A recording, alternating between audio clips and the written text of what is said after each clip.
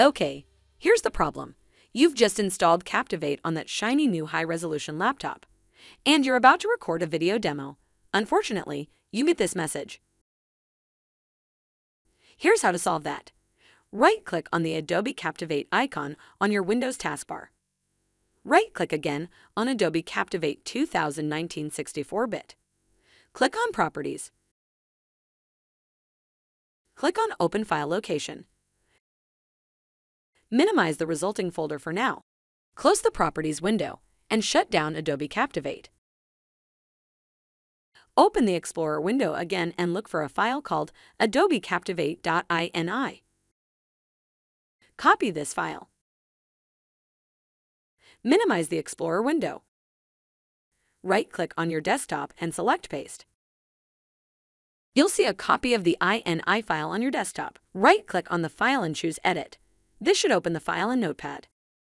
Look for an entry called DPI Awareness. It should have a value of 0. Change the value to 1.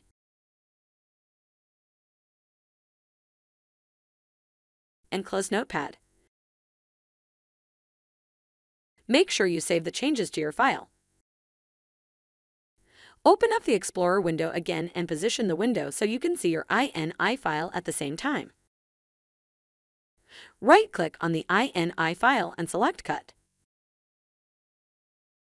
In the Explorer window, click on Paste. Because the destination already has a file with the same name, you will see a Replace File dialog. Select Replace the file in destination. Because this is a protected system folder, you'll see a dialog asking you to provide administrator permission.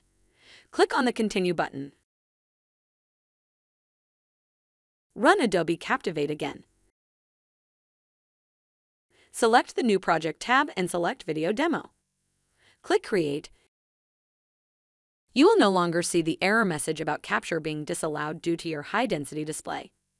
You'll be able to record your video demo as per normal. If you thought this video was useful, please like and share it with your colleagues. If you need help with Adobe Captivate, hire Paul for one-on-one instruction. Paul's goal is to focus on lessons based on your specific need. Visit his website at captivateteacher.com and don't forget to subscribe to his YouTube channel.